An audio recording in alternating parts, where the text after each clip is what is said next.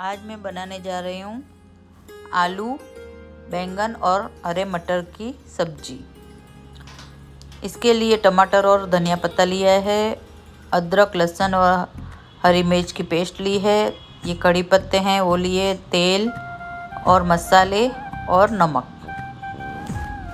अभी हम एक कढ़ाई गरम करेंगे, इसमें तेल डालेंगे, दो चम्मच राई जीरा डालेंगे वघार में।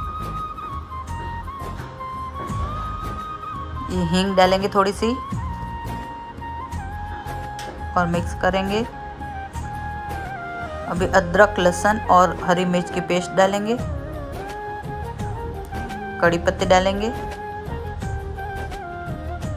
और इसको भी मिक्स कर लेंगे। हल्दी पाउडर डालेंगे और मिक्स कर लेंगे। वगैर में हल्दी पाउडर डालने से कलर अच्छा आता है। और अभी हम ये जो भाजी मैंने काट के रखा है, मैं वो डालूँगी।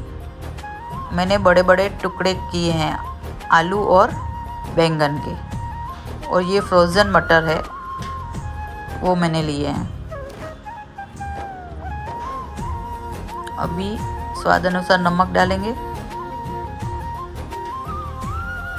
और अच्छे से मिक्स कर लेंगे।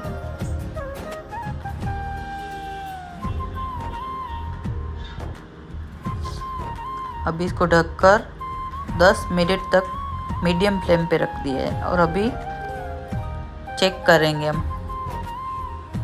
आलू हो गए तो टमाटर डालेंगे और इसमें लाल मिर्च पाउडर डालेंगे। आप जितना तीखा खाते हैं, वो हिसाब से आप मिर्च डालें, धनिया पाउडर और ये गरम मसाला पाउडर ये पानी है।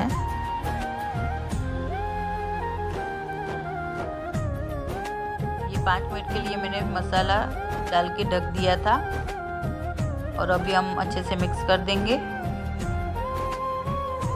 तैयार है हमारी बैंगन और आलू और हरे मटर की सब्ज़ी।